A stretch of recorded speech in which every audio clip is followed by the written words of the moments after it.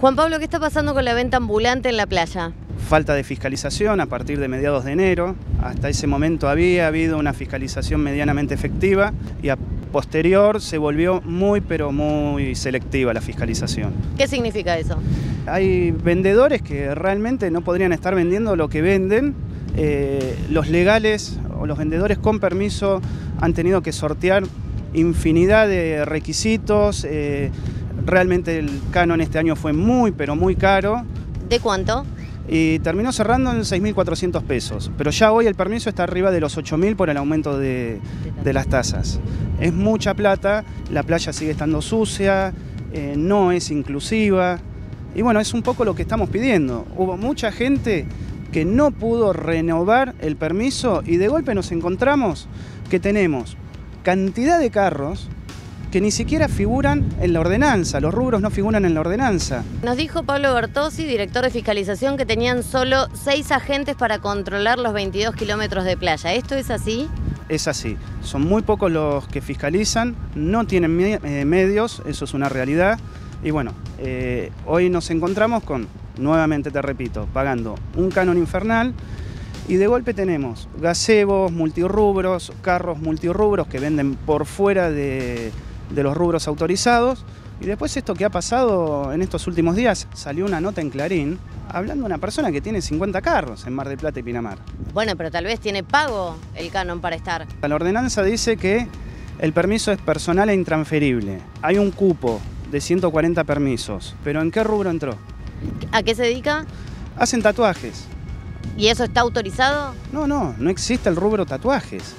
¿Y cómo podés poner o decir en un medio nacional que sos socio de 50 carros?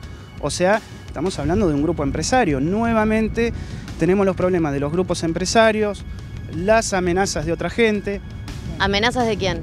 No, no, de algunos chicos que son grupos empresarios que nos han estado amenazando, que nos metamos en lo nuestro, que no les rompamos el negocio. Bueno, acá se arrimó otro compañero de los choclos.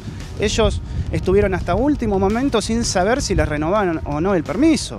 Han presentado cantidad de, papeles, hemos perdido no menos de un mes haciendo trámites. Y hoy vemos la playa que está caminando cualquiera y vendiendo cualquier cosa. Evidentemente ustedes por experiencia saben los rubros que se pueden. ¿Relojes se puede? No. ¿Películas? No. ¿Sombrillas? No. ¿Ollas? No. ¿Lentes? No, los lentes no. Eso queda encuadrado en eh, la ley de marcas, sería delito federal. ¿Cartera? Sí, eh, bolsos artesanales sí, lo que pasa que hay algunos que venden eh, cualquier cosa. La venta de choclos también fue bastante irregular este verano. La venta de choclos, sí, regular, regular, sí. Salvamos, sí, pero fue bastante regular, sí. Antes teníamos que pagarle hasta la policía para poder vender. Le hicimos una denuncia penal cuando estaba Trujillo y el que manejaba la jefe de calle acá, Chazarreta, que le hicimos una denuncia. Que Cigarreta cigarreta, no apareció nunca más. Que agarraban al hospital, que esto, que el otro, se lo daban. Después arreglamos con Beto López, Beto López que era para las escuelas y para los jardines, que se repartía todo. Nunca, no sé, lo sacaban plata de todos lados. Hoy en el municipio hasta un papel de un papel que te falta no te da el permiso directamente. ¿Cuántos años vendiendo choclos? Nosotros hace más de 20 años. Te paso a decir que este año se complicó todo porque eh, directamente ese problema lo trajo Divito. Yo te, te aclaro y ¿Qué problema? de los choclos, de los choclos que quiere sacar los vendedores, el Rafa Divito. Y a años anteriores, los carros de, Pancho que largaban y los carros de licuado que largaban, nosotros sabemos bien que eran todos de Divito. Es una denuncia muy grave, señor, la que está haciendo. Bueno, yo se lo digo porque yo sé, porque lo, vendimos acá, los chocamos con los carros, eran de ellos. Entonces, y este año, como entró él, que está él ahí, que, se maneja, que maneja todo ahora, entonces él quiere, no quiere limpiar la playa, quiere poner vendedores de él. Si yo necesito un lugar para vender choclos en la playa, ¿tengo que hablar primero con vos? No, claramente no, tenés que ir a habilitaciones. Eh, todavía no estás en tiempo de. Es decir, ya pasó el tiempo de, pedir eh, la, habilitación para poder eh, ejercer la venta ambulante. Y perdóname que me ríe y me tiente porque no es la primera vez que me lo preguntan. Sé que maliciosamente un sector político me ha adjudicado la venta de los choclos en la playa. He tenido conversación con la gente de Médano Verde, que son los, que nuclean a los vendedores ambulantes, para aclararle en varias oportunidades. claramente yo no vivo de la venta de choclos en la playa.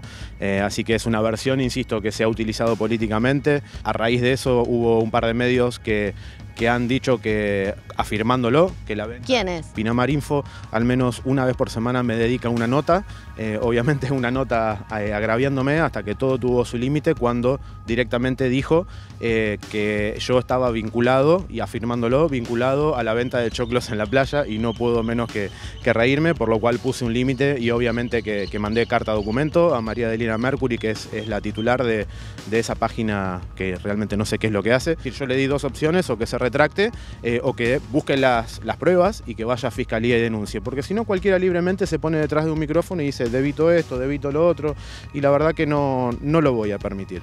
¿La playa es un colador? Podríamos decir que sí. Sabemos que hay vendedores ambulantes que no deberían estar, eh, por eso he, he tenido una reunión con quien está a cargo de los vendedores ambulantes, que es de Médano Verde, porque al principio era la acusación de si no haces es porque estás, eh, digamos, apañando esa situación. La realidad es que no. En más de una oportunidad me he comunicado eh, con Bertossi y con los demás funcionarios para que refuercen. ¿Y Eh, qué respuesta te daban? sobrepasados, sobrepasados porque hay que, hay que el frente marítimo, hay, hay que fiscalizar, insisto, la nocturnidad, hay que fiscalizar, teníamos los manteros en verano en, en, eh, ahí en pleno centro, son muchas cosas para fiscalizar, así que la verdad que, que no quiero decir que no se haya fiscalizado, pero se hizo todo el esfuerzo posible, pero no ha estado en un 100%. No aprobaron. ¿Qué cantidad de fiscalizadores tiene Pinamar? Según tengo entendido, eh, son entre 6 y, y 10.